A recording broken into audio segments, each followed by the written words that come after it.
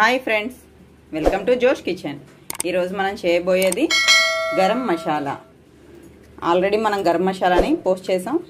అది ఇన్స్టెంట్గా తెచ్చిన ఇంగ్రీడియంట్స్ అన్నీ ఒకసారి పల్లెంలో వేసి ఎండబెట్టుకొని మిక్సీ చేసుకునే గరం మసాలా. అది ఆరు నెలల పాటు నిల్వ ఉంటుంది.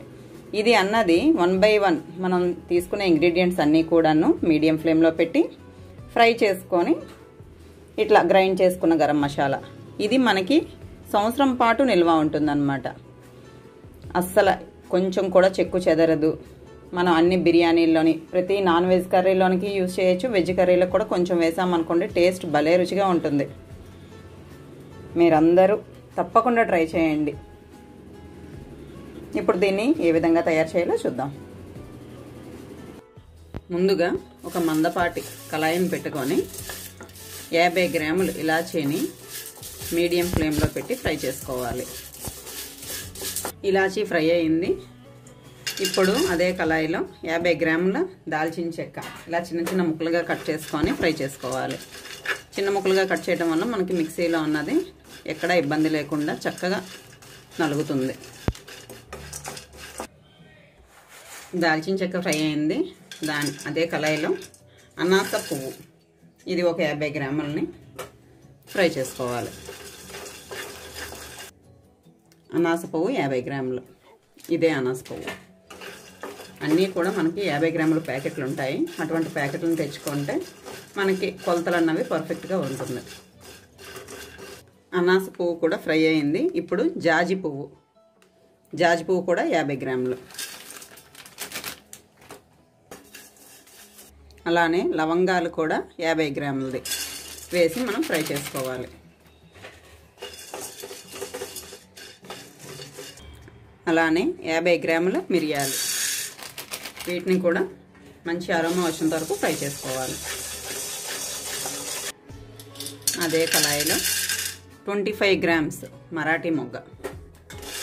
దీన్ని కూడా చక్కగా ఫ్రై చేసుకోవాలి. దీనిలో ఒక ఐదు జాజికాయలు. ఎక్కువ వేయద్దు. ఐదు జాజికాయలు సరిపోతుంది. ఈ యాభై గ్రాములకి. అదే మీరు వంద గ్రాములతో మసాలా పౌడర్ ఏమైనా చేసుకున్నారనుకోండి అప్పుడు పది జాజికాయలు వేయాలి. జాజికాయలు కూడా ఫ్రై అయినాయి కదా.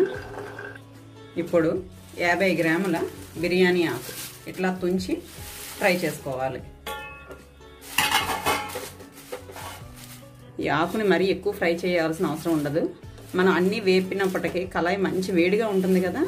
అలాంటప్పుడు స్టవ్ ఆఫ్ చేసేసి ఆ వేడితోని ఈ ఆకులు అన్నది ఫ్రై చేసేసుకోవాలి. ఫ్లేమ్ ఆఫ్ చేసేసి. చూడండి ఆల్రెడీ మనకి ఆ వేడితోనే ఎట్లా మాడుతుందో. అన్నింటినీ ఫ్రై చేసుకున్నాం కదా. ఇవన్నీ కంప్లీట్గా చల్లారిపోయిన తర్వాత మనం మిక్సీ జార్లో వేసి చాలా స్మూత్గా గ్రైండ్ చేసుకోవాలి. చల్లారిన తర్వాత ఇట్లా మిక్సీ జార్లో వేసుకొని స్మూత్గా గ్రైండ్ చేసుకున్నాం. ఇలా వేయించి మనం గరం మసాలా చేసుకుంటే వన్ ఇయర్ పాటు నిల్వ ఉంటుందన్నమాట. ఎయిర్ టైట్ కంటైనర్లో కానీ స్టోర్ చేసుకుంటే. అదే మనం అంతకుముందు పోస్ట్ చేసున్నాం. అది ఇన్స్టెంట్గా. అలా మనకి ఎండలో ఎండబెట్టి అలాగా వచ్చి మిక్సీ చేసుకున్నది అనుకోండి సిక్స్ మంత్స్ ఉంటుంది. ఇలా ఫ్రై చేసి చేసుకునేది మనకి వన్ ఇయర్ పాటు నిల్వ ఉంటుందన్నమాట ఈ గరం మసాలా అన్నది. చాలా ఈజీగా ఉందని భావిస్తున్నాను. మీరందరూ తప్పకుండా ట్రై చేయండి. ఈ రెసిపీ కనుక మీకు నచ్చినట్లయితే లైక్ చేయండి షేర్ చేయండి. మరిన్ని ఇంట్రెస్టింగ్ వీడియోస్ కోసం మా ఛానల్ని సబ్స్క్రైబ్ చేసుకోండి. Thanks for watching.